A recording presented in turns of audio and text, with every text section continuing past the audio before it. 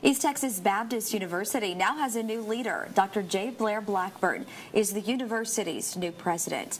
Blackburn is ETBU's 13th president. He's a graduate of the University of Texas at Tyler. Dr. Blackburn will officially succeed Dr. Samuel W. Oliver this June.